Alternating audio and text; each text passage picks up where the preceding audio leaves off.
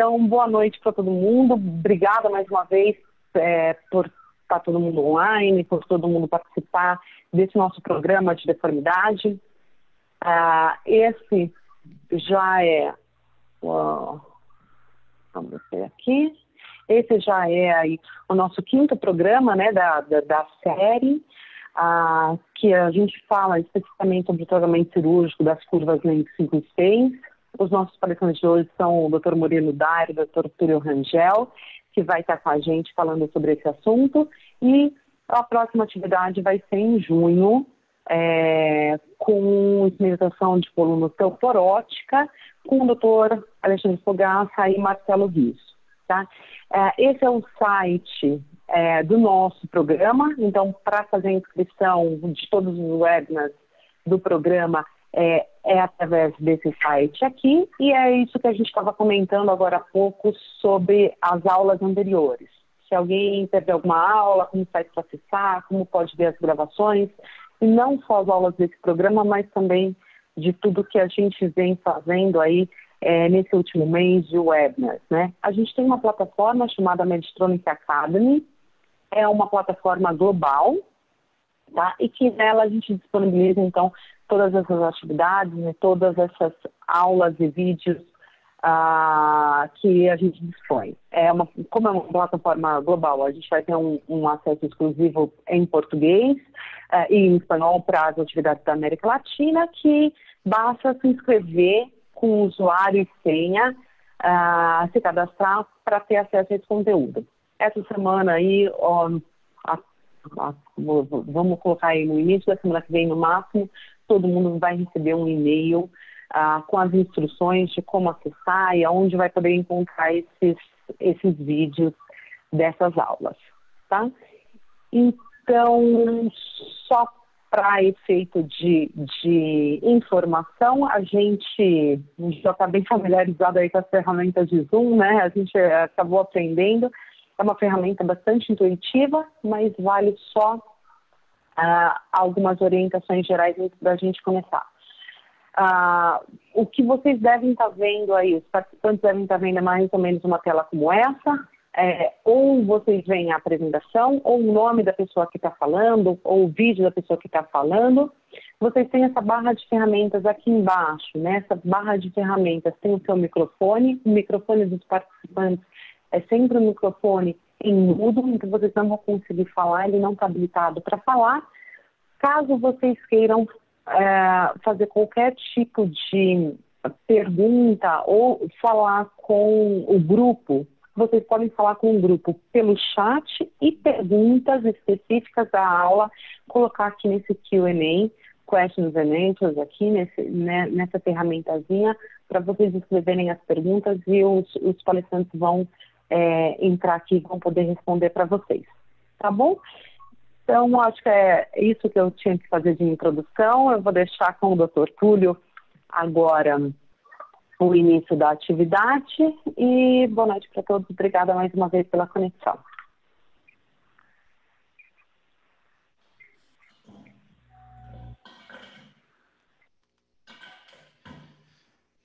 Boa noite a todos.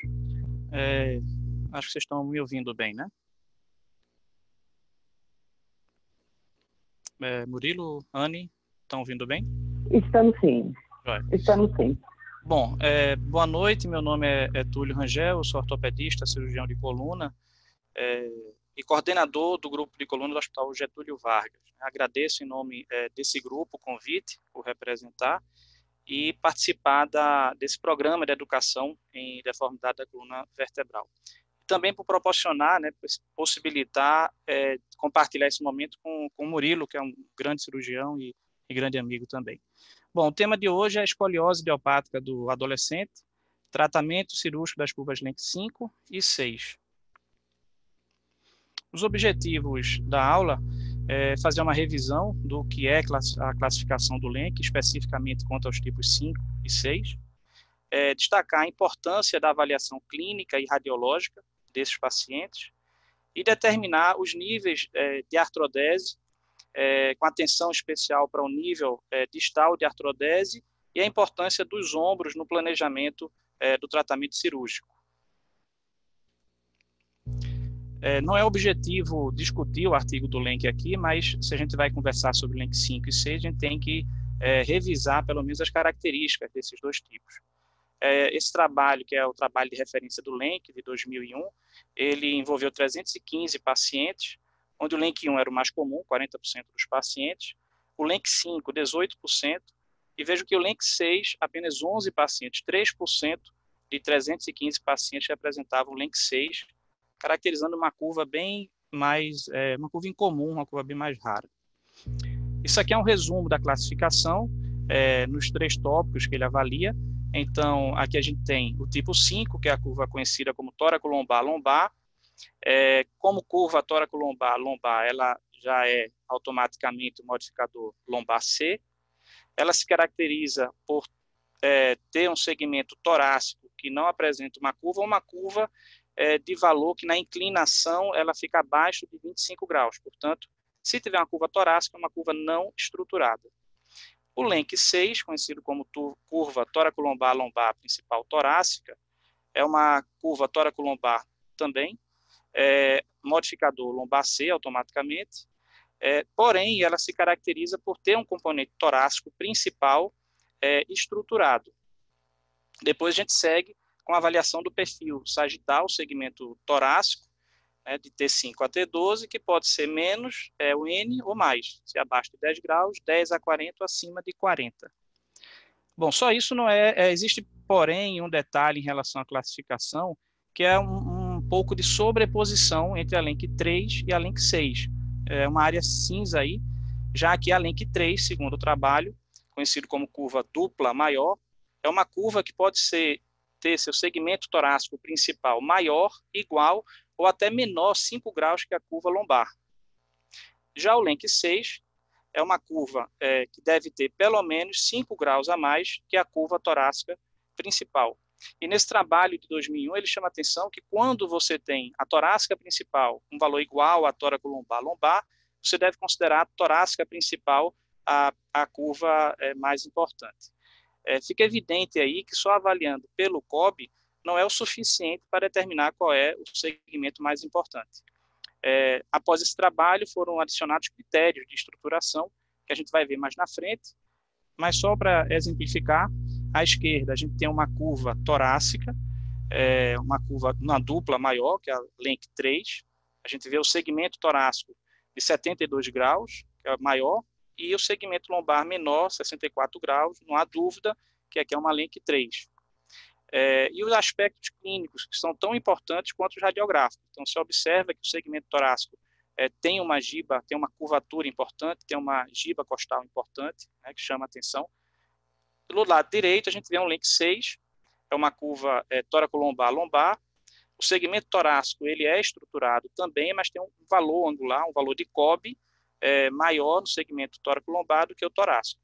E se formos avaliar outros componentes, como translação, rotação de vértebra apical, também a gente observa uma predominância do componente lombar.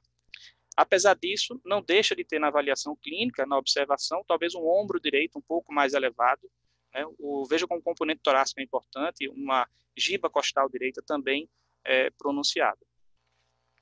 Então, diante de uma indefinição, principalmente no link 3 e 6, outros critérios devem ser utilizados. É o AVT, né, a translação da vértebra apical comparada ao segmento torácico com lombar, é o AVR, é, o COB em si e características clínicas. É, essas características elas também são fundamentais quando você organiza ela em padrões que vão determinar critérios para realizar a fusão seletiva. Os critérios que aqui eu coloquei são referentes apenas ao segmento tóraco-lombar-lombar. Também existem critérios de fusão seletiva para o segmento torácico, conforme esse artigo 2003. Então, é, os critérios radiográficos são que a curva tóraco-lombar-lombar ela seja 25%, né, 1.25 acima do COB, do AVT e o AVR do segmento torácico. A torácica principal, ela deve ser mais flexível e o ideal é que na inclinação ela fique abaixo de 25 graus. O que a gente já observa aí é um, um pouco de é, contradição quando a gente pensa em seletiva na LENC 6, né, já que ela não seria abaixo de 25. E a cifose tóraco-lombar, é considerada T10, L2, ele deve ficar abaixo de 20 graus. Se ela está acima de 20 graus, é considerado no critério de estruturação, se deve incluir o segmento torácico. Critérios clínicos, que são tão importantes quanto os critérios radiográficos. É, primeiro deles é, são os ombros, e aí uma informação que é bem difundida, é que o ideal é que os ombros sejam nivelados, ou esquerdo mais elevado, é, o desvio lombar seja maior que o torácico, quer dizer, a simetria da, da cintura deve ser mais importante que o trunk shift. O uso do escoliômetro também, então deve dar valores acima de 20% comparado ao segmento torácico. E fundamental também é que a giba torácica seja uma deformidade aceitável para pacientes e familiares, uma vez que a artrodese seletiva é, lombar ela vai ter pouco impacto em relação à giba torácica. Dentro da avaliação clínica, é, a gente sempre propõe a avaliação anterior e posterior desse paciente. Isso permite uma avaliação melhor tanto de é, desequilíbrio de tronco, avaliação dos ombros, é, avaliação da giba lombar e giba torácica, é, simetria da cintura. Então, aqui é um paciente com uma deformidade tóraco-lombar importante. É, isso é padronizado no, no nosso grupo, então a gente realiza a avaliação posterior, né, no, no, lado esquerdo, a gente vê um ombro aparentemente mais elevado à direita, um componente é, de giba tóraco-lombar esquerda, assimetria no triângulo, e à direita, a visão anterior já não demonstra um desnivelamento, um desequilíbrio tão importante assim do ombro. Essa visão é, anterior e posterior, na minha opinião, no, do grupo, eles se complementam em relação à avaliação mais é, detalhada do paciente. Aqui é uma visão lateral, a gente realiza as duas, visão lateral direita, visão lateral esquerda, o Adams. Avaliamos também de frente e de costas, porque permite uma avaliação mais detalhada tanto da, do, da giba torácica quanto da giba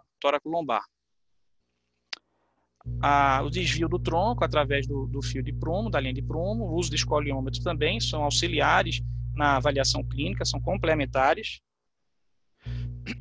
E avaliação radiográfica, novamente paciente em posição ortostática. É, as inclinações em supino, né, o decúbito dorsal. Normalmente não utilizamos coxim ou fulcro ou algum outro dispositivo. E a tração é também uma possibilidade, isso é mais raramente utilizado no grupo, mas principalmente em curvas que apresentam uma translação lombar, curvas de ápice lombar mais baixo, ou que apresentam uma translação é, importante da vértebra apical, que a inclinação seria mais difícil de realizar. Então, a inclinação, a tração ajuda nesses é, pacientes. Aqui são parâmetros radiográficos que utilizamos normalmente. Né? É, a gente avalia a, o distanciamento do tronco pela linha que cai de C7, a linha vertical, comparado à vértebra apical torácica. Comparamos também a rotação da vértebra apical torácica com a rotação da vértebra apical lombar é, de forma semelhante à linha sacral média e a distância dessa linha para o ápice da, da, da vértebra apical lombar, é, além do COB, e outras medidas que alguns autores sugerem como parâmetros é, valiosos na avaliação desse paciente, tanto no planejamento quanto é, como preditores de desequilíbrio. Aqui eu destaquei a angulação do disco entre L3 e L4 e a própria é, inclinação do corpo vertebral. O perfil, que você pode avaliar pelo segmento torácico ou todo o perfil sagital. As inclinações, né, o, de, o decúbito dorsal em supino, então à direita a gente compara o grau de é, mobilidade do disco, novamente o segmento 3-4, é, se a linha sacral média ela corta o corpo de L3, a gente também é, consegue no anterior avaliar é, se a vértebra está sendo substancialmente tocada ou não, isso é um critério importante. E na inclinação lateral esquerda, é, não só o grau de flexibilidade da curva, mas também é, se a, a, vértebra proposta como vértebra de artrodese distal, se ela tem condições de ser artrodesada, segundo o critério do SUC, que será falado mais na frente. Então, como dito anteriormente, essa avaliação radiográfica, ela serve não só para determinar nível de, de artrodese, mas também para predizer, né, como preditor, em relação aos pacientes que vão, por exemplo, apresentar um desequilíbrio coronal. Então, esse é um, um trabalho é, chinês que mostra que os pacientes que apresentaram desequilíbrio coronal, eles apresentavam uma vértebra, a inclinação da vértebra inferiormente instrumentada, é, no pré-operatório era maior ou igual a 25 graus e na, a inclinação dessa vértebra se mantinha acima de 8 graus no pós-operatório. Isso levou a esse desequilíbrio coronal. Quanto ao tratamento cirúrgico, a artrodese, falar de artrodese é, seletiva, é, normalmente associamos ao link 5. Né? É difícil falar de seletividade em relação ao link 6, então normalmente é a artrodese mais extensa. Quanto à artrodese seletiva e as técnicas que estão associadas, é uma opção, é o que a gente busca em relação ao tratamento do link 5, é, através de diversas técnicas. Cantilever, compressão, distração, derrotação da haste, derrotação vertebral direta, bending, e, e, é muito à la carte, é muito em relação a cada paciente, em relação à necessidade de cada indivíduo. É, por fim, também, a comparação da, é importante se fazer em relação à via anterior e à via posterior no tratamento dos pacientes com link 5. Né, e, é, da mesma forma que é preconizado para os pacientes com a curva simples, como a link 1, por exemplo.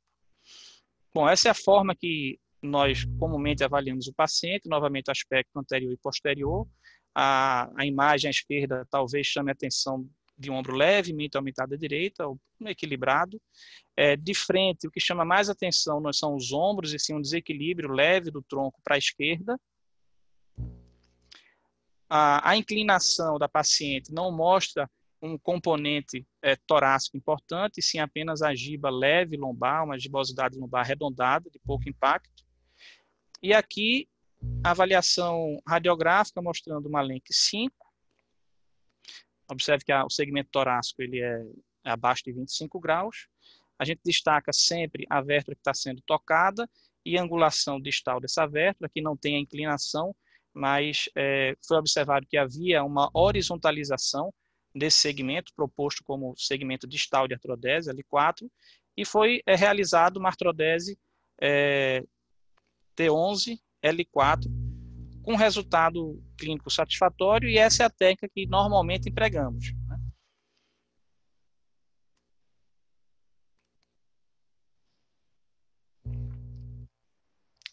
Essa derrotação e a quantidade de instrumentação no ápice, é, ela pode ser com quatro pontos de, fixação. Normalmente utilizamos é, parafusos monoaxiais, mas depende muito da flexibilidade avaliada é, nos exames pré-operatórios, nas radiografias de inclinação. O segundo SU, que é a derrotação vertebral direta, ele não usa compressão e distração. No nosso, no nosso grupo, a gente preconiza é, distração apenas do meio da deformidade para baixo, no sentido de horizontalizar, no sentido de manter o mais alinhado possível é, a vértebra inferiormente instrumentada, permitindo assim um equilíbrio de forças, uma simetria é, no espaço discal. Esse é o resultado cirúrgico. Então, é, em relação à proposta, né, você tem uma, um planejamento baseado na característica clínica do paciente e na característica é, radiográfica. Esse é um paciente com uma deformidade mais importante, como vocês já tinham visto, o aspecto é, clínico do paciente, e esse o aspecto radiográfico. Né, sem dúvida alguma, um paciente com a LINC 6, né, um segmento tóraco-lombar muito é, mais importante aqui do que ah, o segmento torácico, 118 graus, porém o segmento torácico também rígido. É, até um, um, desvio importante aqui do, do ápice é, tóraco-lombar da linha sacral média. É, esse paciente apresentava essas radiografias de inclinação, né, você observa até um aspecto mais trapezoidal nas vértebras apicais, isso fala a favor de uma rigidez, de uma estruturação, de uma curva rígida de difícil controle e tratamento.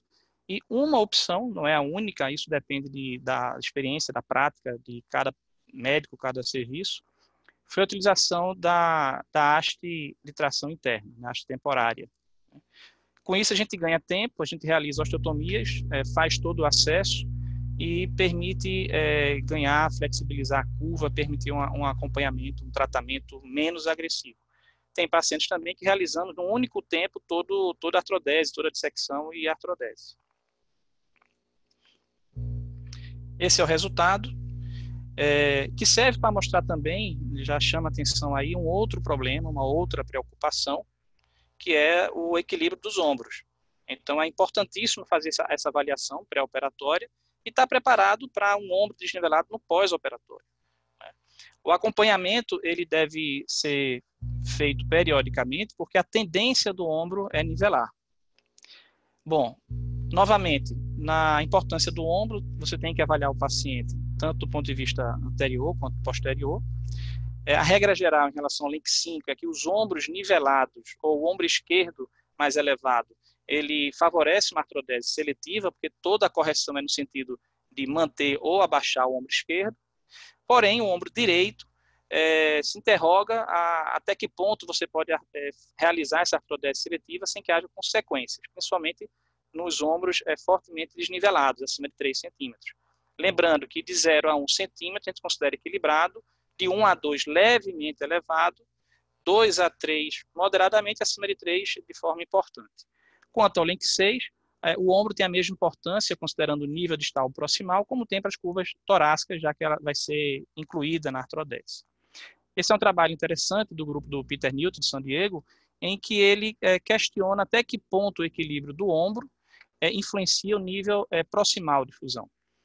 Ele avaliou em torno de 107 pacientes, observou que 37% é, dos pacientes apresentavam ombros nivelados e metade desses pacientes com LENC 5 apresentavam é, um ombro direito mais elevado. É, quando realizada a fusão, ele observou que no pós-operatório, a fusão extensa foi indicada em 27% dos pacientes que apresentavam ombros nivelados, que era esperado, né? a maioria não precisa de artrodese extensa, porém, apenas 36% dos pacientes que apresentavam ombro direito elevado, pouco mais de um terço, foram submetidos à fusão extensa. Então, é, houve um entendimento que, mesmo com ombro direito, foi possível artrodese seletiva. E o pós-operatório, de uma forma geral, mostrou que 64% dos ombros estavam nivelados e apenas 30% apresentavam desequilíbrio leve. Né, bons resultados clínicos, apesar que desse grupo, metade apresentava um direito mais elevado. A crítica que eles fazem, a autocrítica, primeiro, que foram é, envolvidos no estudo tanto pacientes com via anterior, pacientes submetidos à artrodese via posterior, com técnicas de correção diferentes, o que poderia influenciar tanto no planejamento quanto na execução da técnica. Bom, de uma forma geral, os níveis de artrodese para L5, eles são determinados da seguinte forma. Su é, nível superior de artrodese, a vértebra terminal superior, na grande maioria dos casos, é o que a gente busca. Na vértebra inferior, seria a vértebra estável, ou segundo, seguindo o critério de, de Suki, L3 ou L4. No link 6, a superior ela está submetida ao mesmo critério para a torácica principal, e o nível inferior seria a vértebra estável, ou L3 ou L4, segundo o SUC. Bom, mas como é que Suki propõe isso? É, nesse trabalho de 2012 e reforçado em 2017, ele é, classifica as escolioses em quatro tipos, é uma classificação mais simples, e é, propõe que a, a, o nível inferior de artrodese deve ser L3, se na inclinação lateral direita o corpo de L3 cruzar a linha sacral. E na inclinação lateral esquerda, a rotação se manter abaixo de 2. Caso não se atinja esses critérios, deve descer a artrodese até o nível de L4. Então, para exemplificar, essa é uma paciente com LENC 5. A inclinação lateral direita, a gente vê o corpo vertebral é, sendo é, cortado pela linha, de, a linha sacral média. E do lado esquerdo, a gente vê a, a manutenção do grau de rotação de L3, né, tem um grau 1, abaixo de 2, preenchendo os critérios de artrodese é, até L3 como vértebra inferior, que é, é o que foi realizado nessa paciente. Bom, em relação à via anterior versus posterior, eu acho que tá, hoje em dia é muito claro as vantagens é, de uma em relação à outra, mas para sintetizar aqui, em 2013, esse é um trabalho que compara essas duas vias, é, dizendo que a via instrumentação posterior ela apresentou menor tempo de internamento e maior capacidade de correção. Em 2018, é, esse grupo americano ele mostra que a via posterior teve menor tempo cirúrgico, porém aumentou a necessidade de transfusão pós-operatória e aumentou a necessidade de um nível de fusão. Mas do ponto de vista clínico e radiográfico não houve diferença. E por fim, esse trabalho de 2009, com 10 anos de segmento, mostra que a via posterior teve um menor tempo cirúrgico, menor tempo de internamento, apesar de uma incidência maior de cifose proximal é, juncional. Mas, novamente, o grau, a capacidade de correção anterior é equivalente a posterior. Finalizando, é importante lembrar que os ombros tendem a nivelar Então, por mais que seja angustiante, principalmente para o cirurgião, porque boa parte dos pacientes com LENC 5 que nos procuram, o incômodo é a simetria de cintura, é a giba lombar. Então, esperar, pois essa melhora pode ocorrer com seis semanas, pode ocorrer com é, um ano e meio. É, lembrar que a sua seletividade, a sua fusão é, única da curvatória lombar, ela vai ter pouco impacto na giba costal e que é muito comum também, isso é rotina, eu sempre preparo os pacientes que eu submeto à artrite seletiva lombar, uma sensação de perna direita mais longa, o tronco desviado, principalmente quando a vértebra apical lombar ela está muito distante da linha sagital. Conclusão, a artrodese seletiva é possível na maioria das curvas tóraco-lombar-lombar, principalmente LINC 5. Os critérios clínicos, eles são tão importantes quanto os critérios radiográficos e é fundamental conversar com a família sobre as limitações da artrodese seletiva e complicações potenciais.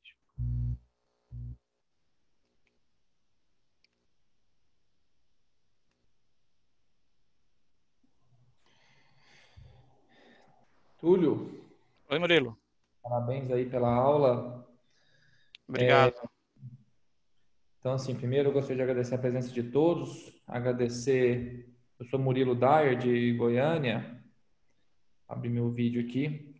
Agradecer a presença de todos aí, é, agradecer ao Túlio, parabenizar pela aula e agradecer a Medtronic, principalmente aí a Anne, que é, antes de pandemia ou qualquer um dessas maluquices aí que aconteceram nesse ano, já tinha programado um curso totalmente é, à distância e você vê que já vinha pensando assim no, numa forma de educação já que atenderia aos nossos anseios, né? Então, assim, parabenizar o grupo aí da Medtronic, do Alberto e da Anne. Tiveram algumas perguntas aqui no chat, ô Túlio, eu queria fazer algumas perguntas. Algumas perguntas do Alexandre, é, do Piauí, o grande Alexandre, meu amigo, que a gente vai até discutir provavelmente na hora dos casos, porque na hora dos casos eu vou entrar um pouquinho em técnica cirúrgica. E tem uma, uma pergunta do Emílio Crisótomo que perguntou quanto tempo você demorou de uma abordagem para outra, no caso que você apresentou daquela é, com uma curvatória lombar bem mais grave que a torácica, que você fez a tração interna. É, eu, eu respondi aqui no. Eu digitei, mas é, é, depende da, da, clínica, das condições clínicas do paciente. Então, assim, como o primeiro tempo não é um procedimento tão espoliante, não é um procedimento que, é, que tem uma agressividade tão grande, é, eles se recuperam muito rápido. Então, uma semana, dez dias, a gente já consegue fazer, realizar o segundo tempo. Deixa eu te fazer uma pergunta. Eu, eu tenho, eu não, eu, eu, sou muito raramente eu estagio cirurgias, então assim, eu não tenho experiência tanto com estagiário. Eu gosto muito de fazer um tempo só, claro, quando é possível. Mas nesses casos que você faz essa tração interna, os parafusos, quando você vai fazer o segundo tempo, proximais ou distais, você perde alguma fixação? Você tem que trocá-los ou isso geralmente não acontece pela tração da haste?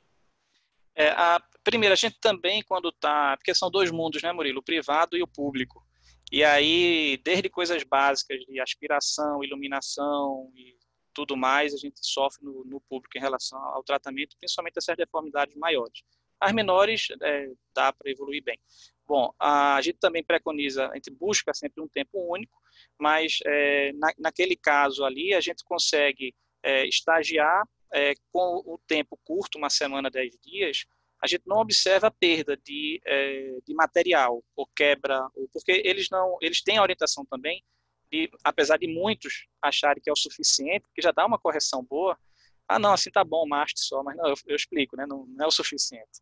Mas é, não tem tempo para forçar o sistema e quebrar, soltar, é, sair do lugar.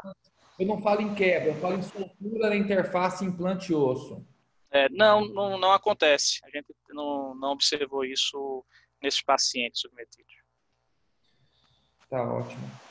É, ô, Alexandre, eu vou passar para os casos, e aí nos casos eu acho que a gente vai ter bastante oportunidade é, de discutir os aspectos técnicos aí que você perguntou. Então, vou pedir para o Túlio ficar de olho nas perguntas e a gente, nos casos, pode discutir todas elas. Isso. Pode ser, Alexandre? Você não tem jeito de responder, né? Então, vou considerar assim. É, eu vou abrir aqui, então, o, caso clínico. Vocês estão vendo aí a tela? Como que tá? Estou vendo. Tá bom.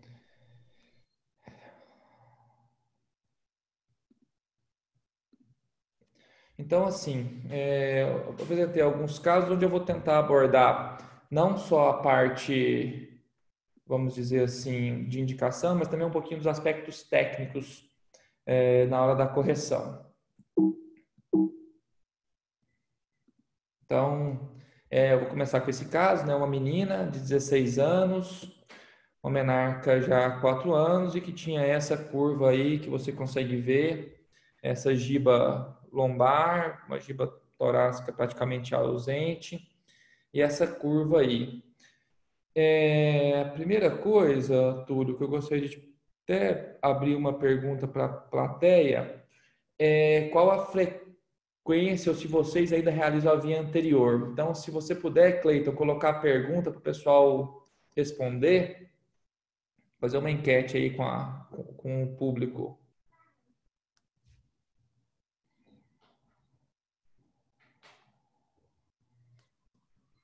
Então, acho que se puder mostrar as respostas aí para a gente, Cleiton.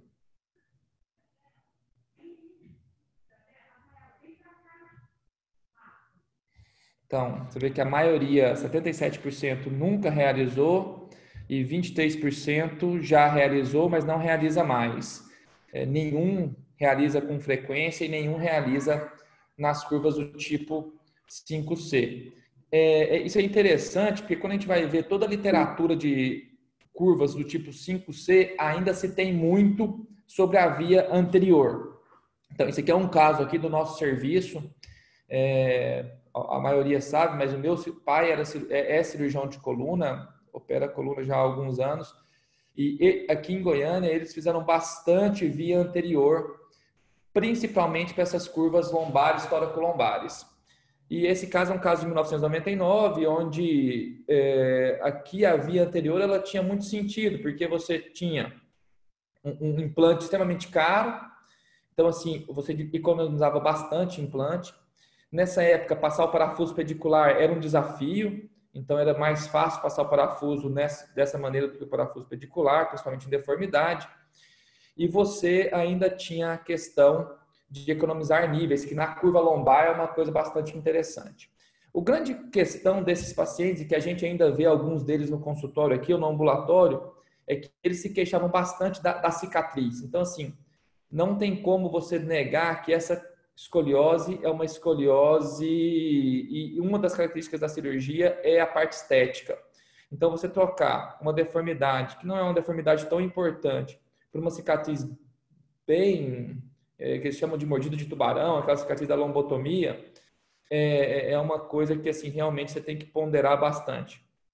E a questão também que tiveram outros problemas era cifotização do segmento, você tinha muito é, perda de correção, pseudartrose, que essas questões foram suplantadas quando começou a se utilizar os passadores intersomáticos e hastes mais, mais robustas, né? Mas isso é o que era feito então naquela época. Hoje em dia, é, confesso a você que também não tenho feito nenhuma via anterior para esse tipo de abordagem. Mas então vou mostrar um pouquinho como que funciona o meu raciocínio na hora que eu me deparo com uma curva, qualquer tipo, mas aqui especificamente nas curvas do tipo 5C. Então, a primeira coisa que, quando eu vejo uma deformidade, eu vou pensar qual é a curva que eu vou artrodesar. E para isso, eu acho que a classificação do Lenk ajuda. Então, quando você usa a classificação do Lenk, eu acho que ela ajuda muito pouco em te falar em nível, ou ela não ajuda em nível, mas ela te ajuda a pensar em qual a curva que você vai artrodesar. É claro que a gente sabe que tem aqueles rule breakers, que são assim, que fogem um pouco à regra, mas de maneira geral ela te dá uma certa orientação. E sempre levar em consideração não só os critérios radiográficos, mas também os critérios clínicos, que você apontou muito bem, a gente vai falar um pouquinho mais para frente. Depois que eu decido qual curva que eu vou artrodesar, eu penso em qual a minha abordagem. Hoje em dia, praticamente somente via posterior, não, não, não falo mais assim via anterior. E aí depois eu vou pensar nível, tanto proximal quanto distal, e se falando em curvas do tipo 5 e 6, aqui eu estou discutindo principalmente L3 e L4. É, dificilmente você vai ter outra vértebra. Então, é, eu, eu, escutei do Landim, que foi meu professor e foi professor, acho que de quase todo mundo aqui no Brasil, que ele escutava do Valdemar que é, nunca se para em L5 em uma escoliose idiopática. Então, assim, dificilmente você vai fugir de L3 e L4. E aí eu vou pensar um pouquinho na minha técnica de correção. Então, é, esse aqui é o caso, voltando ao caso que eu tinha apresentado. Essa curva é uma curva que o cobre vai de T11 até L4. Uh, ah, o perfil não tem nenhuma consideração importante, a curva torácica também nenhuma consideração importante, então acho que não resta nenhuma dúvida que é uma Lenk é, 5C. E o que, que a gente então considera na hora de decidir se vai fazer uma artrodese só da curva lombar ou só da curva torácica? É claro que nas curvas Lenk 5C é muito difícil de você pensar em artrodesar a curva torácica, assim, e eu nem chamo uma 5C de artrodese seletiva, porque na verdade você não tem curva torácica. Então, eu acho que o conceito de artrodese seletiva é quando você tem uma curva que é flexível e você não vai artrodesá-la. Aqui eu acho que nem é o caso. É, mas o que, que eu levo em consideração quando eu tenho uma curva, por exemplo, uma 6C, ou alguma curva que eu vou levar em consideração se eu vou fazer uma artrodese seletiva lombar? Do ponto de vista clínico, eu acho que você ponderou muito bem a questão do ombro.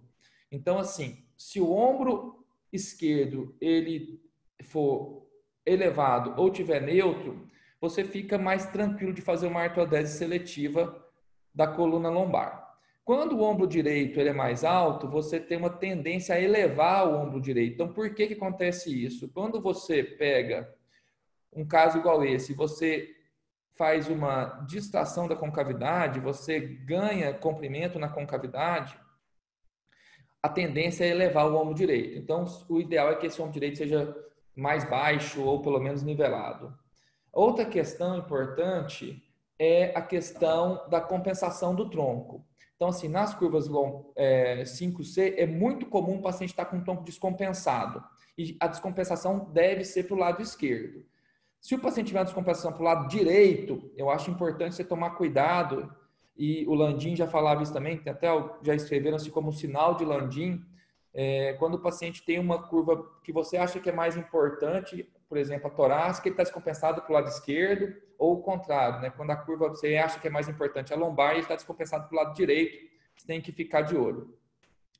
E sempre você avaliar a giba torácica, porque a, a correção espontânea da curva não artodesada, a gente sabe que ela acontece, ela acontece principalmente na, quando você faz a artrodese seletiva torácica, e quando você faz a artrodese seletiva da curva lombar, é, a correção espontânea da curva torácica ela não é tão, é, tão, tão grande quanto a gente imagina. Então, o que, que eu faço? Eu sempre pego essa paciente, eu gosto de avaliar a giba dela, e aí o que eu faço, Túlio? Eu deito o paciente de decúbito ventral na mesa do consultório chama a família e fala: olha, essa é a giba provavelmente que esse paciente vai ficar no pós-operatório. Porque eu acho que isso a gente consegue mensurar e a gente, como cirurgião, também vê se essa giba torácica que deve permanecer, ela é aceitável ou não e sempre compartilhar com a família. Eu acho que isso no consultório é a melhor maneira possível com o paciente deitado em decúbito ventral, que é mais ou menos a posição que eu vou ter o paciente na mesa. É, eu falei um pouquinho sobre a correção espontânea da curva não artodesada, então todos esses artigos aqui eles são sobre essa sobre a correção espontânea da curva artodesada. E uma das questões que chama atenção quando a gente vai estudar as curvas do Lenk tipo 5C é que a maioria dos artigos eles misturam artodese via anterior com artodese posterior. Eu acho que com o passar dos anos vão começar a aparecer artigos que só abordam os pacientes operados pela via posterior, então vai ajudar um pouco mais as nossas é, definições de conduta, porque eu acho que é difícil você comparar, eu acho que são técnicas totalmente diferentes, são tipos de correção totalmente diferentes, mas a gente é o que a gente tem hoje são esses artigos. E esse aqui do meio é um artigo interessante do Harm Study Group que ele avaliou como que foi a, o, o, a evolução da curva não artodesada, da curva torácica não artodesada. E o que, que ele mostrou? Que geralmente é semelhante àquela correção que você consegue na, na artrodese da tóraco lombar lombar. Então, é mais ou menos o mesmo conceito que a gente tem na seletiva torácica. É, quando você faz uma artrodese seletiva torácica, você tem que corrigir, sempre tomando cuidado para não corrigir demais, porque se você corrigir demais, mais do que a flexibilidade da curva lombar, ela não vai conseguir acompanhar e ficar um tom compensado. Aqui, nesse artigo, ele mostrou que quando você faz uma artrodese seletiva da curva lombar, geralmente o que acontece é que fica uma curva simétrica acima na região torácica de valor é, angular mais ou menos semelhante ao que você conseguiu de correção. E o que acontece é que esse valor geralmente é inferior ao que você imagina quando você vê as inclinações. Então, quando você vê as inclinações, você tem uma expectativa de correção maior e muitas vezes essa correção não é tão grande quanto você imagina. Nesse artigo, eles tiveram uma porcentagem de correção que foi em torno de 37 no POI, depois 42 e foi baixando para 29 e 30 mostrando que, e, e, com, você vê com um intervalo de confiança bem grande, 29%, mostrando que a variabilidade foi grande. E que essa correção, mais ou menos, ela se mantém é, ao longo de cinco anos. Então, assim, como na artrodese seletiva torácica, você não tem uma perda de correção da curva não artrodesada. Então, agora eu gostaria de perguntar para a plateia aí, nesse caso especificamente, qual seria o nível distal de artrodese? Cleiton, se você conseguir colocar para a gente o questionário. Então, assim, é, vocês estão vendo aí um paciente com uma curva, paciente menina, 16 anos, já madura esqueleticamente. O tronco, ele é praticamente compensado, não tem muita descompensação, talvez um, um ou dois centímetros para o lado esquerdo. Um cobo de T11 até L4, você vê que é, L4 faz parte do COB e a vértebra estável aqui, ao meu ver, é L5 e a tocada é L4. E qual é a que nível que vocês parariam aqui? Pode soltar aí a enquete, Cleiton.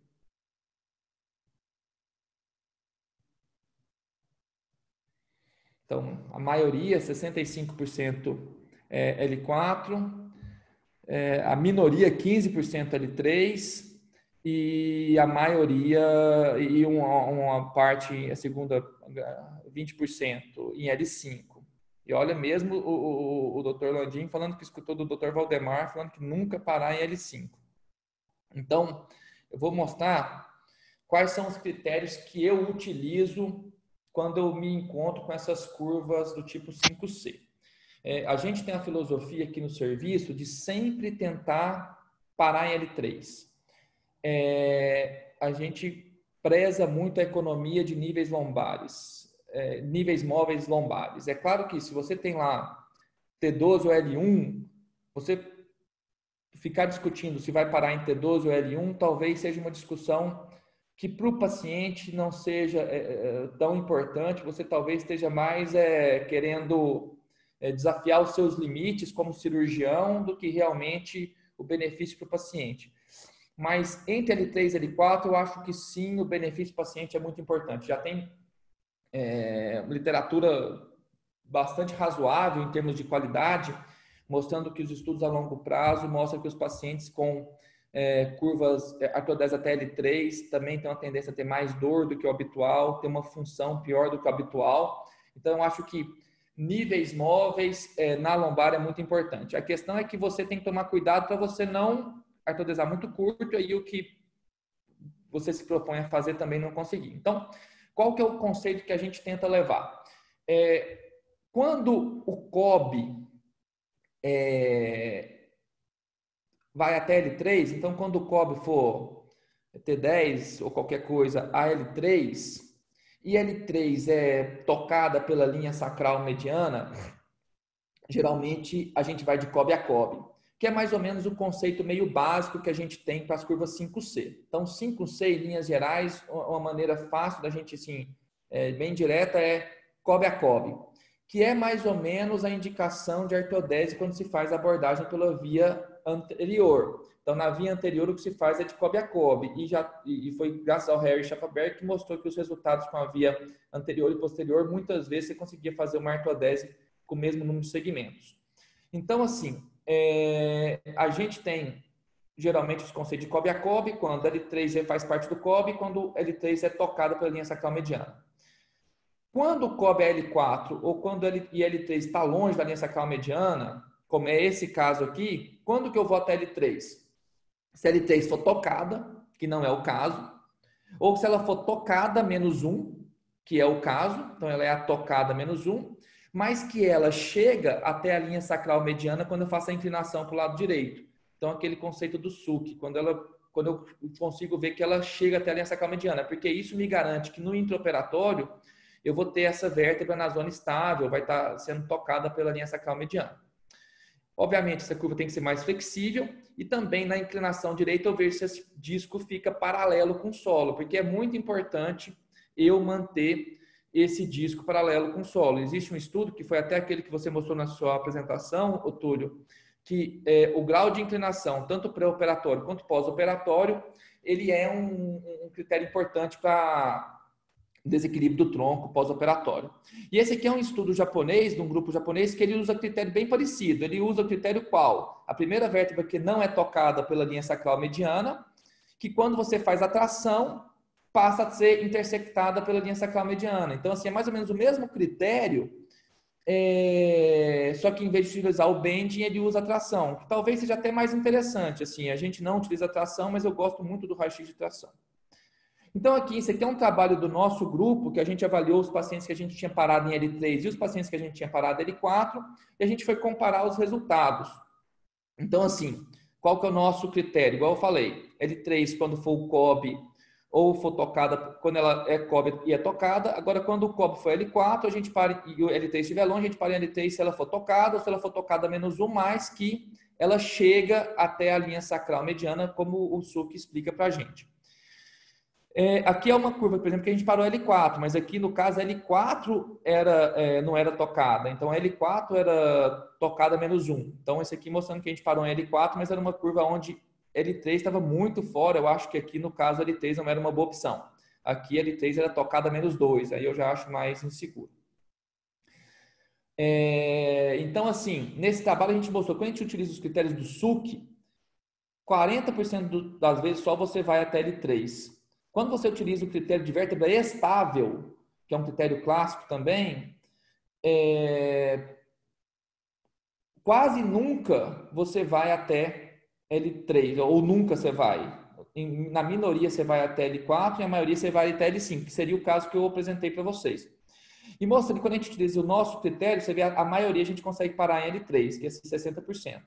E a porcentagem de correção do nos nossos casos foi exatamente igual. E o que a gente teve aqui, os pacientes que a gente parou em L3 ficaram mais compensados no, no pós-operatório, então assim, a compensação do tronco foi melhor nos pacientes que a gente parou em L3, e o tilt de L4, que é um critério importante que a gente avaliou também, foi semelhante, mostrando que os resultados foram iguais, inclusive com os questionários de qualidade de vida mostrando resultados iguais. Então, falando um pouquinho sobre técnica cirúrgica, Alexandre, é, o que, que a gente faz? Então, assim, a gente faz a exposição e a gente faz a técnica bem semelhante ao que o Dr. Harry Schafferberg preconiza, né? Ele foi quem mais defendeu a abordagem posterior para as, curvas 5C. É, quando eu terminei minha residência, eu fiquei um tempo na Alemanha, e na Alemanha se fazia muita abordagem anterior para as escolioses, e tinha muito debate entre o professor Harms e o Schafferberg, e o Schafferberg sempre preconizando a abordagem posterior. Então, a minha abordagem eu sempre faço é, facetectomias, pra, a facetectomia para passar o parafuso mesmo, eu sempre faço ela o mais ampla possível, tirando até o istmo para a gente tentar mobilizar o máximo possível, como se fosse uma osteotomia tipo um de Schwab. Eu confesso que a maioria dessas curvas elas são flexíveis, então eu termino não fazendo uma ponte convencional de tirar a faceta da vértebra é, da faceta superior da vértebra de baixo, mas eu faço sempre essa osteotomia tipo um de Schwab bem, bem ampla. E aí eu uso uma moldagem um pouco diferente. Eu sempre moldo a haste da convexidade, nesse caso, um pouco mais, tentando fazer a lordose que eu quero que esse paciente fique. E a da concavidade eu deixo moldado um pouco menos. E aí o que, que eu faço? Eu vou colocando a haste pela convexidade, aí foi a pergunta que o Alexandre fez, se eu coloco pela convexidade ou pela concavidade. Na curva lombar que eu vou fazer, eu faço sempre pela convexidade. Por quê? Aqui eu consigo ir fazendo compressão. Como eu quero lordose, eu preciso de comprimir posterior. Então, se eu corrigir pela concavidade, eu vou ter que distrair. Então, eu perco lordose. Então, eu vou colocando a minha haste, eu posso derrodar a haste, mas muitas vezes eu vou fazendo cantilever e compressão com o compressor pela convexidade. E aí eu depois coloco a haste da concavidade e essa haste da concavidade ajuda a derrodar um pouco a concavidade. E sempre eu utilizo a fluoroscopia para ver se eu deixei L5 paralelo ao, a, ao ilíaco. Então, assim, eu acho que essa avaliação, esse, esse ajuste fino com compressor de extrator, eu acho importante para a gente tentar deixar o L3 sem, ou a última vértebra instrumentada sempre é, alinhada com o ilíaco. É claro que o ideal seria a gente fazer aquele filme, o raio-x minhocão, raio-x panorâmico no intraoperatório, mas a gente não tem eu, pelo menos aqui em Goiânia, a gente não tem acesso a essa tecnologia, que é uma tecnologia simples, mas no intraoperatório. Então, aqui é um resultado final desse paciente. Aqui, é, o tipo de haste que a gente utilizou foi é, mais rígida, então a gente tem preferência sempre para utilizar a haste de cromo cobalto de 5,5 ou haste de titânio de 6, assim, desde que ela seja o mais rígido possível. É claro que depende um pouco da, da curva. Se for uma curva extremamente rígida, muito rígida, você não vai mobilizar, aí eu acho talvez o titânio ele, ele protege um pouquinho a sua, a sua interface osso-implante, evita você fazer pull-out durante a correção. Mas, no geral, assim, principalmente para essas curvas lombares, a gente faz é, com hastes mais rígidas.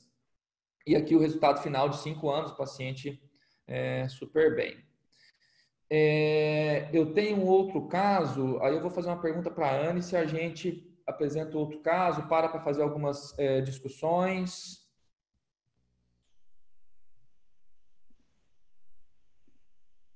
Anne? Ah, ah desculpe, estava falando aqui sozinha. É, eu acho que por conta do horário a gente pode fazer a apresentação rápida do próximo caso e já seguir para as discussões também aí a gente consegue mais um, puxar uns 10 minutinhos. Responder as perguntas, né? Eu vou ser bem breve no próximo caso, então, porque o próximo caso já não vou, assim, já, já falei um pouquinho de literatura, vai ser só a apresentação do caso mesmo. Então, assim, é, esse é um outro caso, 13 anos, 6 meses, menarca um ano e 6 meses. Então, assim, aqui vocês veem a, as fotos clínicas, é, você vê que a minha documentação não está tão bonita igual a do Túlio, documentação é, fotográfica do paciente, a gente tem que melhorar.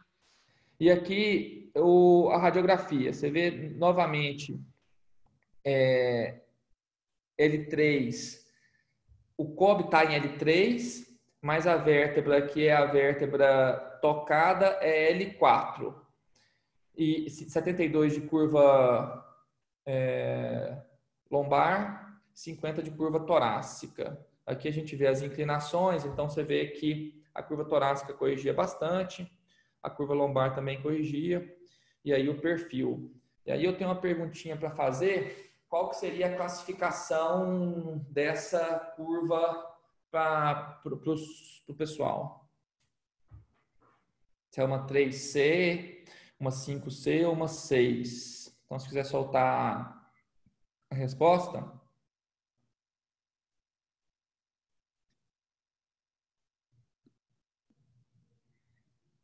Poder mostrar a resposta.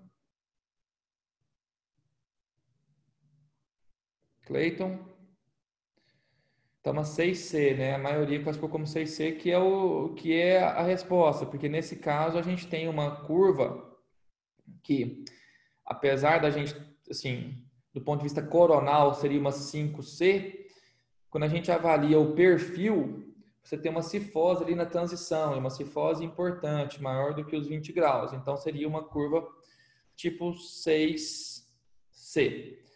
É, e quanto ao nível de artrodese, o que vocês fariam de, enquanto nível de artrodese? É, o nível proximal eu botei T4, se for artrodesar torácica, mas assim, não, não vem tanto ao caso. T5, T4, T6. Mas assim, torácica e lombar L4, torácica e lombar L3, se puder soltar a pergunta também, Cleiton. A última a pergunta.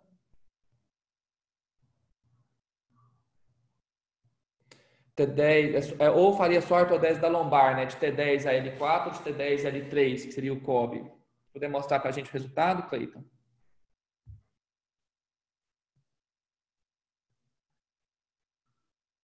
Então, a maioria T4L4, T4L3 20% e só a lombar 30%. Então, assim, ficou bem disputado, né? Para você ver. E uma coisa interessante é que tem um trabalho mostrando que a curva, os casos onde mais tem variabilidade é, na escolha do, da técnica cirúrgica, ou não da técnica cirúrgica, mas da técnica, do COB, de todos os fatores, é, são as curvas 5C.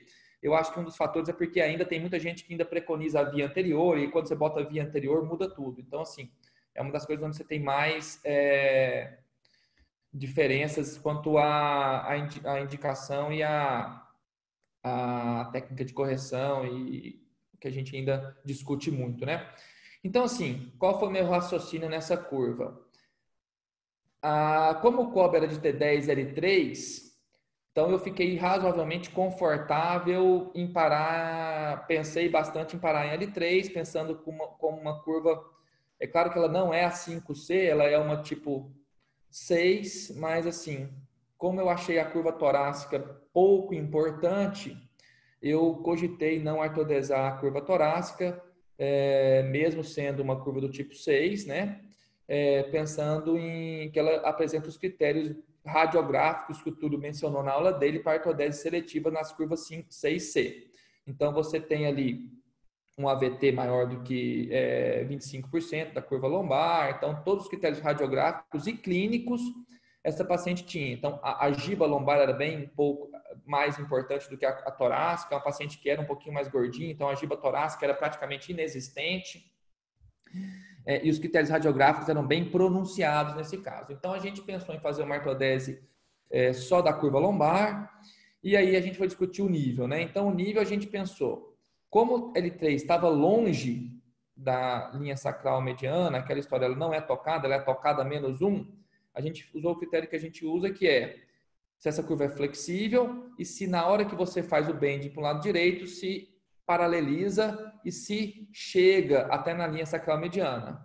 Então, assim, nesse caso ficou paralelo, chegou até a linha sacral mediana e ela é a tocada menos um. Então, a gente partiu para uma artrodese também só da curva lombar. A gente estendeu um pouquinho acima do COB, um nível acima do COB, até porque tinha essa cifose na transição. E esse foi o resultado radiográfico da paciente. Infelizmente, a radiografia não está de qualidade tão boa, porque a paciente é um pouquinho mais gordinha, Nesse momento aqui, o hospital estava passando por uma mudança do aparelho de raio-x, então piorou um pouquinho a qualidade dos nossos exames. Mas você vê que o paciente ficou bem mais equilibrado, o tronco, e melhorou bem o plano sagital também. Então, assim, a gente ficou, achou o resultado bastante satisfatório, tanto clínico quanto radiográfico. A gente consegue ver o resultado radiográfico é, aqui. Então, como mensagem para casa, a abordagem posterior parece ser a mais preconizada. Hoje, nas na, no tratamento das deformidades idiopáticas, inclusive na 5C, que ainda era um dos poucos resquícios onde a curva, a abordagem anterior parece que tinha algum, algum espaço. Tanto nas curvas 5C e na 6C, que se for fazer artrodese seletiva, observar bastante os critérios clínicos, que o Túlio comentou muito bem na aula dele, mas assim, o ombro, o quanto que essa giba torácica te incomoda ou não, então, assim, deita o paciente na maca, olha assim, ó, essa giba aqui é o que vai ficar, dificilmente vai ter uma melhora muito significativa do que você está vendo ali na maca. Eu utilizo vários critérios para a escolha do nível distal. O nível distal talvez seja o fator mais importante para a gente definir o sucesso da nossa cirurgia, seja, é, é, provavelmente é o nível distal que você escolhe, mas eu sempre tento considerar ele 3 quando eu vou fazer uma ortodese que eu vou, que eu vou invadir a curva lombar. Então, assim, eu é, raramente eu paro em L4. Eu tento usar todos esses critérios que estão listados aí para a gente definir a, aonde parar. Então era isso que eu tinha para apresentar. Se a gente puder então passar agora para as perguntas, eu vou. Eu acho que a gente pode responder junto, Murilo. Ah, algumas você já respondeu em relação à haste. É, se, é, se permitir, eu queria em relação ao tipo de material e haste. É, quando eu tenho uma curva, eu vejo muito essa relação em aquele trabalho que você apresentou da, da o grau de autocorreção né, o grau de correção espontânea da torácica, isso é importante, porque você consegue é, prever um pouco esse padrão desse comportamento. Então, se eu estou diante de uma deformidade é, tóraco-lombar é muito, muito importante, você mais agressivo nessa deformidade é, em relação às osteotomias, eu utilizo um material mais rígido quando eu observo que a curva é, torácica, caso haja, ela é flexível, ela tem uma boa capacidade de autocorreção ou não tem esse componente torácico de fato. Porque, a, a, porque você pode até ter uma curva é, torácica, mas ela é flexível para 18, 20 graus, ela não é estruturada, ela é link 5. Então, eu avalio de acordo com a, com a rigidez e com a flexibilidade é, do, do material. A, a, as manobras, eu também, é, é muito à la carte, é muito de acordo com a necessidade clínica e com a necessidade radiográfica do paciente. É, eu faço diferente a correção da lombar.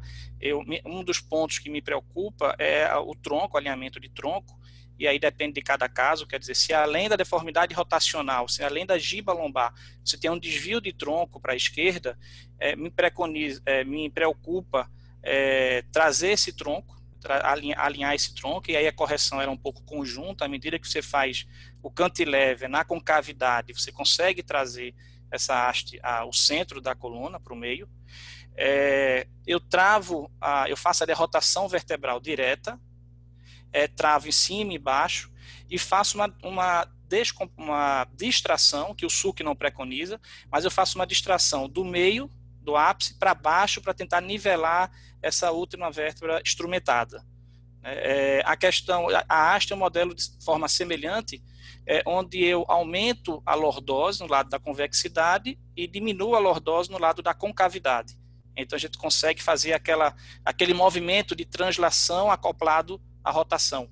Então é, essa é a diferença que eu tenho, mas é, como eu tinha falado antes, a combinação de técnicas cirúrgicas, a sequência, se no final você tem um bom resultado clínico com o nível distal de artrodese, poupando o nível e mantendo esse, essa, esse nível horizontal, eu acho que você atingiu o objetivo.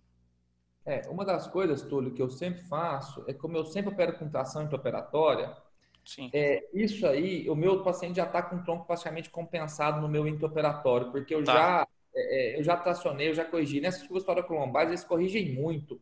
É muito raro uma curva igual você mostrou no seu segundo caso.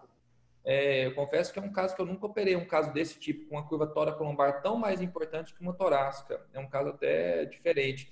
É raro, né? Então, a curva lombar, geralmente, ela corrige bastante, corrige mais do que a torácica. O, o Alexandre fez uma outra pergunta. Se você, em algum momento, para em L5, qual é a sua opinião, Túlio? O que, que você acha? Eu, eu não paro em L5, eu nunca, nunca, eu fujo de L5 sempre, mesmo naquelas curvas, é, a, a, curva que você fica tendencioso a parar em, é, parar em L5 é a curva, a curva, lombar baixa com ápice baixo, ápice em L3, né? E, e aí acho que é uma vantagem da sua técnica de fazer contração, porque você consegue já ganhar muito nessa, nesse equilíbrio, nessa horizontalização. Mas eu fujo de, eu nunca paro em L5, eu sempre é, tento parar em L4. Eu concordo com o Túlio. Assim, eu nunca parei em L5, não, viu, Alexandre? E assim, eu escutei isso do Landinho uma vez, que ele escutou do Valdemar. Então, é, eu acredito nesses conceitos aí, nunca parei em L5. Eu confesso que eu tenho parado pouco em L4, como eu mostrei nos dois casos. São dois casos que eu tive, assim, interesse em trazer, porque você vê que são dois casos que a maioria falou em parar em L4, e L4 é um. É um é, Porto seguro claro. Mas eu acho que nesses casos de invadir a lombar, a gente tem que pensar. E tem uma outra pergunta que foi é, é, uma pergunta interessante. Se perguntou se esse conceito que o, o Gustavo perguntou se esse conceito de parar em L3 vale para demais curvas que você vai invadir a lombar. É, inclusive, Gustavo, esse trabalho que a gente escreveu é, são poucos casos de curva 5C. A maioria são curvas 6 e curvas 1C, ou curva 3. 1C quase nada, mas curvas 3. Então, na verdade, a gente utiliza os mesmos critérios que eu utilizo para fazer uma 5C, eu utilizo sempre que eu vou parar na lombar. Então, sempre que eu for invadir a lombar, o meu raciocínio é mais ou menos semelhante a esse, entendeu? É, eu não sei se você concorda, Túlio. É, o, o trabalho do SUC, naquela classificação dele, é nos segmentos, nos quatro padrões, né, os quatro tipos. Os dois últimos é a dupla, a curva dupla e a curva tóraco-lombar-lombar. Quando ele aplica esse critério de parar em L4 ou parar em L3. Né? As curvas superiores, ele usa o critério de, de vértice estável e vértebra neutra, e a relação e a diferença entre elas. Mas esse, esse conceito de L3 e L4 são para as curvas tóraco-lombar-lombar. É isso aí, Túlio. Eu acho que assim, é, é, é o, é o, o, o, conceito do SUC. Assim, na verdade, quando você vai invadir a lombar, não importa se você está para cima ou para baixo, onde você vai parar, é, a, o, o, o, seu critério, você, você, pensa de maneira isolada na, no, no, nível distal e depois no nível proximal. Isso. É isso aí. Pergunta aqui do, do, do Márcio Pena, meu amigo Márcio Pena, me perguntou que se no segundo caso eu não fiquei com receio de sub, de não subir mais a artrodese, já que era uma curva do tipo 6, e ele coloca aqui com sinal de Landim positivo. É, assim, o sinal do Landim, Márcio, e aí depois você me corrija se eu estiver errado, o que eu entendo como sinal de Landim é isso, o paciente está com um tronco descompensado para o lado da curva que não é o do caso. Então, por exemplo, nesse paciente aqui, o paciente estava com o tronco descompensado para o lado esquerdo, então ele não acha que ele tem sinal de Landim. O sinal de Landim, ao meu conhecimento, o Marcelo Risso está está nos ouvindo aqui, também poderia até, talvez a Anne pode até é, abrir o microfone para ele tirar essa dúvida, que o Marcelo trabalha com o Landim.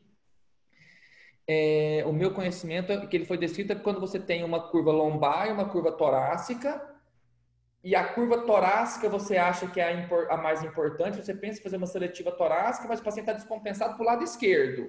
E aí você vai e invade a lombar. Você artrodese a lombar também é, seria uma extrapolação do sinal de Landim você pensar, não, a curva lombar está é, tá, tá desviada para o lado direito, então vou ficar de olho se o paciente não tem uma curva torácica importante. Mas nesse caso, como a curva lombar ela era habitual e o paciente estava descompensado para o lado esquerdo, eu não me preocupei. Quanto à questão de ter uma cifose na transição, eu me preocupei sim. Mas aí eu subi um pouquinho mais a artrodese, eu não fui de cobre a cobre, que eu, eu, eu geralmente eu vou de cobre a cobre, eu terminei subindo um pouquinho mais, e aí eu é, terminei ficando satisfeito, e você vê que o resultado foi bom, assim, eu acho que o resultado tanto é, clínico e radiográfico, tanto a longo prazo, esse paciente já tem mais de cinco anos operado, também o resultado radiográfico está ótimo. É, Murilo, o, o, o, resultado fala por si só, né? Não, não tem como contestar isso. Mas é, você não ficou receoso, porque se você reconhece pelo critério de estruturação sagital, que é uma vértebra que o segmento torácico é estruturado, que é algo até debatível, né? Você usa o mesmo critério, ou seja, ter 10 L2, tanto para o torácico quanto para o tóraco lombar. É meio estranho, mas enfim. É, você seguiu um critério de incluir a torácica, mas você não incluiu toda a torácica. Não fica um pouco dúbio em relação a isso? É, o que, que acontece, Túlio? É, eu confesso a você que assim, eu, eu classifiquei como 6. Então, para mim, é uma curva 6C, ponto final. A classificação ela é clara. Mas não é porque a curva é 6 que eu vou ortodesar a torácica. É, você tem os critérios de é, seletividade. Então, os critérios que você apresentou. Você uhum. apresentou lá, o AVT era muito maior do que 25%, a rotação da torácica era praticamente zero, o paciente não tinha giba torácica, o ombro estava tranquilo, então, assim, eu classifiquei como tal, mas eu, eu arrisquei fazer uma. Não, aí, resultado excelente. E, você pensa, fazer uma marcador de T4, L4, L3, ou fazer uma marcador de T10, L3, ou T9, então eu fiz T9, T9 ou T8, L3. Uhum. Ah, é outra bem menor, né? Então, Marcelo, quer comentar? Marcelo Rio. Prazer você aí com a gente, cara. Prazer é meu. Parabéns pelas, pelas apresentações. Só um comentário pela questão do Landim. O sinal do Landim foi descrito no, no, na curva King ainda, né? Então era era a falsa dupla curva. Então é, é quando a curva e foi descrito para quando se trata a, a, a, quando se escolhe a artrodese só da curva torácica, né? Então ele observou que os pacientes que tinham o tronco descompensado para o lado da curva lombar é, evoluiu mal na artrodese seletiva da curva, só da curva torácica. Então, não sei se. É, eu acho que é um conceito interessante, a gente já extrapolei esse pensamento nas curvas Lenk 6 e Lenk 5, mas ele é original para a gente pensar nas curvas é, Lenk 3 e eventualmente na, na, na LENC 1. Né? Então, acho que é isso que eu acho que, que vale eh, discutir. E quanto à artrodese distal, eu acho que é, concordo com o que vocês estão colocando. Dizer, a gente tem que sempre poupar níveis lombares. Mas é, é, o objetivo da cirurgia, com certeza, é manter o paciente compensado. Né? Então, também, às vezes, eu, eu vejo é, pessoas optando muito for a indicação de parar em L3, mas aí o paciente fica descompensado. Então tem que ter muito critério, muito cuidado e parabéns pelo que vocês apresentaram. Grande abraço, Marcelo. Um abraço a vocês. A gente fez esse estudo, o Marcelo, que a gente até publicou na revista Coluna, assim, para o nosso, é, foi até um, um espanto que os casos que a gente parou em L4 ficaram mais descompensados que o que a gente parou em L3. Engraçado, não imaginava. O que, que eu a minha impressão quando eu paro em L3, tá?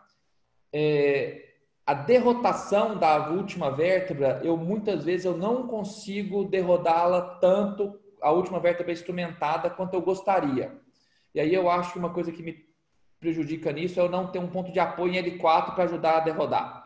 Uma coisa que o, o Schafferberg já falou que ele faz em alguns casos, ele bota o pino de chance percutando, ou percutando não, um pino de chance, segura L4 com um pino de chance derroda L3, depois tira o pino de chance. Você vê como ele quer parar em L3 e ele não invade L3. Você vê assim, o cara passa um parafuso, segura a vértebra ali e depois deixa sem, sem fazer a artrodese. Você vê como tem pessoas que levam essa questão de poupar níveis bem a, a sério, assim. É, eu, eu não faço essa manobra, mas assim, eu percebo que a derrotação da última vértebra ela não fica tão boa mas eu fico satisfeito quando eu consigo nivelá-la bastante. Então, por isso que eu uso sempre a inclinação ou a tração para ver se eu consigo deixá-la bem nivelada. Eu, eu, eu acho que a vértebra nivelada é um ponto importante nessa decisão. E aí o Alexandre até perguntou é, sobre a questão da tração intraoperatória, o quanto que te, te ajuda. É, eu, eu, eu, eu, vou para meu, meu, a minha cirurgia, obviamente, com o meu plano já na cabeça, né?